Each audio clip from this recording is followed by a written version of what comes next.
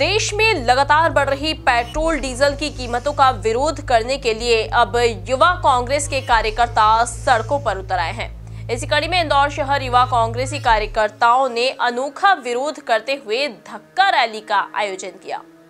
देखिए खास report. Petrol, diesel की बढ़ती कीमतों से युवा कांग्रेस नाराज़। सड़क पर उतरकर कार्यकर्ताओं ने किया अनोखा विरोध। कार को धक्का देकर कार्यकर्ताओं ने जताया विरोध। विरोध कर रहे कार्यकर्ताओं को पुलिस ने किया गिरफ़्तार। पेट्रोल और डीजल की कीमतों में बेतहाशा बढ़ोतरी को लेकर अब युवा कांग्रेस ने विरोध की कमान संभाल ली है। इस बीच इंदौर शहर युवा कांग्रेस ने भी अध्यक्ष रमीज खान के नेतृत्व में अनोखा प्रदर्शन करते हुए धक्का रैली निकाली।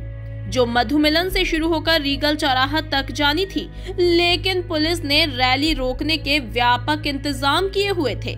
बावजूद इसके, युवा कांग्रेसियों ने रैली निकालकर प्रदर्शन किया।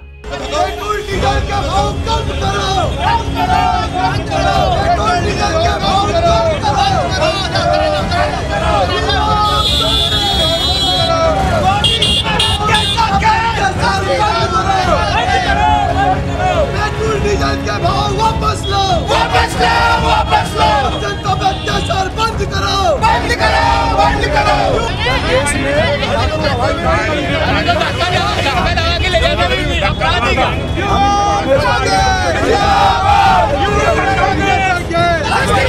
महँगा तेल गाड़ी में पेट्रोल खत्म गया इसलिए हम पेट्रोल ले जा रहे हैं जिंदाबाद।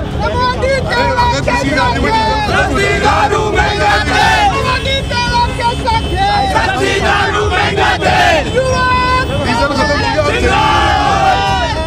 युवा कांग्रेस के शहर अध्यक्ष रमीज खान की माने तो केंद्र की मोदी सरकार को जगाने के लिए इस तरह का विरोध प्रदर्शन किया गया है।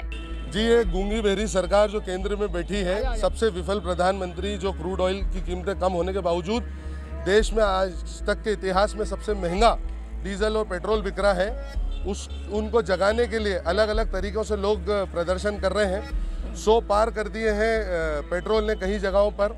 पेट्रोल मूल्य वृद्धि को का विरोध करने के लिए आज हम ये बताना चाह रहे हैं कि जो गाड़ियाँ हमने खरीदी थी वो गाड़ियाँ हमारे लिए डब्बा हो चुकी है इनको धका के हम घर ले जा रहे हैं और दोबारा इनको बाहर लाने की गलती नहीं करेंगे।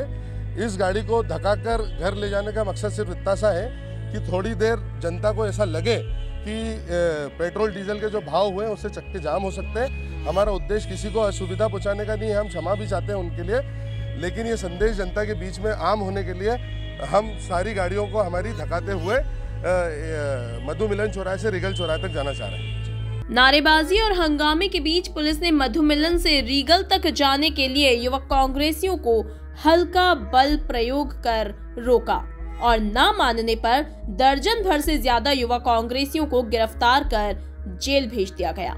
ये जो प्रदर्शन हुआ था इन्होंने रैली निकालने की कोशिश की है। इन लोगों की गिरफ्तारी की गई है। और विधि अनुसार इनके खिलाफ कार्रवाई की जाएगी। वन फोर्टी फोर के उल्लंघन की भी कार्रवाई होगी। जो जो धाराएँ होंगी, उन सब में कार्रवाई होगी। इनको कोई अनुमति नहीं दी गई। जो भी विधि अनुसार कार्रवाई होगी, वो पुलिस और लोग मिलकर करेंगे। इस दौरान बड़ी संख्या में युवा कांग्रेस के कार्यकर्ता रैली में विरोध प्रदर्शन करने पहुँचे थे। Bureau report MP news Indore.